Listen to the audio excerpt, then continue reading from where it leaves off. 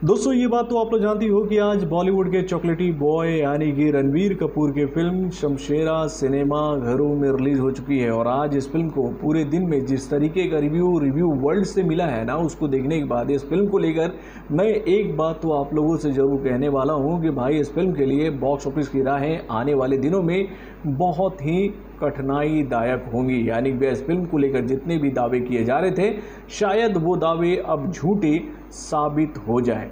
यानी कि भैया, इस फ़िल्म के लिए आज से ही नेगेटिव बाज़ार सजा दिया गया है कई लोगों की तरफ़ से। यानी कि इस फ़िल्म को लेकर ये बात कही गई है कई लोगों के माध्यम से कि भाई, इस फ़िल्म की जो कहानी है, वो आउटडेटेड है, इस फ़िल्म का मेकिंग है, वो औसत दर्जे का है और फ़िल्म जो है, भैया, बहुत ही सिमटी हुई कहानी को लेकर सिनेमा घर में आई है। यानी कि इस फ़िल्म को लेकर आज केवल नेगेटिव नेगेटिव नेगेटिव बातें ही हम लोगों ने देखा है।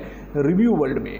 और भाई, इन नेगेटिव बातों को देखने के बाद मेरा निष्कर्ष इन दिनों बॉलीवुड को लेकर यही निकल रहा है कि भाई, इन दिनों बॉलीवुड की हालत ऐसी हो गई है कि भैया, अगर बॉलीवुड में कोई रीमेक फ़िल्म भी बनेगी तो उसको क्रिटिसाइज किया जाएगा। अगर कोई ओरिजिनल कंटेंट भी आएगी सिनेमाघर में तो भैया, उसको भी क्रिटिसाइज ही किया जाएगा।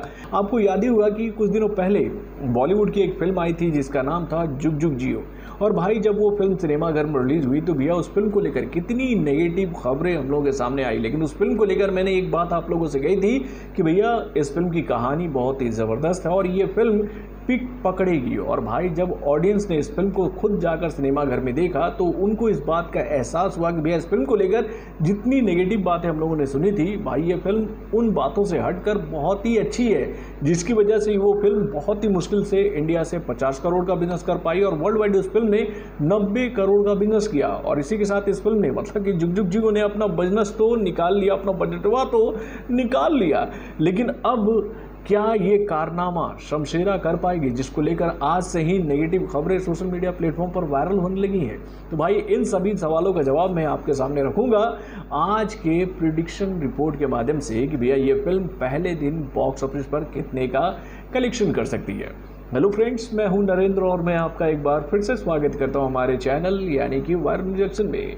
तो दोस्तों, जैसा मैंने आपको बताया भैया कि आज शमशेरा सिनेमा घरों में रिलीज़ हो चुकी है तीन लैंग्वेज के माध्यम से, यानी कि हिंदी, तमिल, तेलुगु। यानी कि भैया ये तीन लैंग्वेज में इस फ़िल्म को सिनेमा घरों में रिलीज़ किया गया ऑल ओवर इंडिया में, और भाई, इस फ़िल्म को पूरे इंडिया में तो बहुत ज़बरदस्त शोज़ मिले थे, लेकिन भाई जितने शोज़ इस फ़िल्म को मिले थे, उस हिसाब से इस फ़िल्म को आज ओपनिंग बॉक्स ऑफ़िस पर बिल्कुल नहीं मिला है। तो भाई चलिए एक एक करके हर लैंग्वेज की हम बात करते हैं। तो दोस्तों, सबसे पहले हम बात करना चाहेंगे हिंदी लैंग्वेज की। तो दोस्तों, आज इस फ़िल्म को हिंदी लैंग्वेज में जो पूरे दिन में ऑक्यूपेंसी रेट मिला है, वो आंकड़ा है 8.81 परसेंट का। यानी कि आंकड़ों में बात करें तो मॉर्निंग के शो में इस फ़िल्म को 9.87 परसेंट का ऑक्यूपेंसी रेट मिला। आफ्टरनून के शो में इस फ़िल्म को 11.46 परसेंट का ऑक्यूपेंसी रेट मिला और इवनिंग के शो में इस फ़िल्म को 13.91 परसेंट का ऑक्यूपेंसी रेट मिला। तो भैया, ये तो बात हो गई हिंदी लैंग्वेज की। अब चलिए हम लोग बात करते हैं भैया तेलुगू लैंग्वेज की। तो दोस्तों, तेलुगु लैंग्वेज इस फ़िल्म को आज पूरे दिन में जो ऑक्यूपेंसी रेट मिला है, वो है सिक्स परसेंट का। यानी कि इस फ़िल्म को मॉर्निंग के शो में तेलुगु लैंग्वेज में जो आज ऑक्यूपेंसी रेट मिला है, वो है सेवन परसेंट का। उसके बाद आफ्टरनून के शो में इस फ़िल्म को जो ऑक्यूपेंसी रेट मिला तेलुगु लैंग्वेज में, वो रहा नाइन 54 परसेंट का और इवनिंग के शो में इस फ़िल्म को जो आज तेलुगु लैंग्वेज के माध्यम से ऑक्यूपेंसी रेट मिला है, वो है 9.37 परसेंट का। इसके बाद हम लोग चलिए बात करते हैं इस फ़िल्म के हिंदी वाले वर्जन की, जो कि आईमैक्स में रिलीज़ हुआ है टू वर्जन में। तो भाई, इस वर्जन को आज जो आईमैक्स के माध्यम से जो ऑक्यूपेंसी रेट मिला है पूरे दिन में, वो आंकड़ा रहा 14.29 परसेंट का। यानी कि मॉर्निंग के शो में इस फ़िल्म को आईमैक्स के टू वर्जन के माध्यम से जो ऑक्यूपेंसी रेट मिला था, वो आंकड़ा था 18.05 परसेंट का। आफ्टरनून के शो में इस फ़िल्म को 15.72 परसेंट का ऑक्यूपेंसी रेट मिला। इस वर्जन के माध्यम से इस फ़िल्म को जो आज ऑक्यूपेंसी रेट मिला है, वो आंकड़ा है 23.33 परसेंट का। इसके बाद अगर हम लोग बात करें भैया इस फ़िल्म के तमिल वाले वर्जन की तो तमिल वर्जन में इस फ़िल्म को पूरे दिन में जो आज ऑक्यूपेंसी रेट मिला है, वो आंकड़ा है 6.75 परसेंट का। यानी कि मॉर्निंग के शो में इस फ़िल्म को जो आज ऑक्यूपेंसी रेट मिला है तमिल लैंग्वेज में, वो आंकड़ा है 8.39 परसेंट का। आफ्टरनून के शो में इस फ़िल्म को तमिल लैंग्वेज के माध्यम से जो ऑक्यूपेंसी रेट मिला, वो रहा 12.21 परसेंट का। और इवनिंग के शो में इस फ़िल्म को तमिल लैंग्वेज के माध्यम से जो ऑक्यूपेंसी रेट ना है, वो है 6.41 परसेंट का।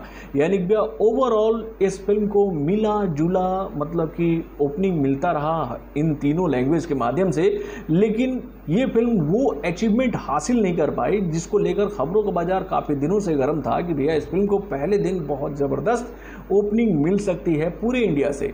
यानी कि भैया, आज इस फ़िल्म को जिस तरीके का ऑक्यूपेशन है पूरे इंडिया से, उसको देखने के बाद ये बात कही जा रही है कि यह फ़िल्म बहुत ही मुश्किल से टेन करोड़ का आंकड़ा पार कर पाएगी कमाई के मामले में। यानी कि भैया, बहुत मुश्किल से ये टेन से एलेवन करोड़ का बिज़नेस कर पाएगी इन तीनों लैंग्वेज के माध्यम से। तो दोस्तों, आप अपने कमेंट के माध्यम से बताइएगा कि भैया, इन दिनों जो बॉलीवुड की फ़िल्मों के साथ में हो रहा है उसको देखने के बाद आपको ऐसा नहीं लगता है कि भैया गेम तो कुछ और चल रहा है, लेकिन भैया, समझने वाले समझ नहीं पा रहे।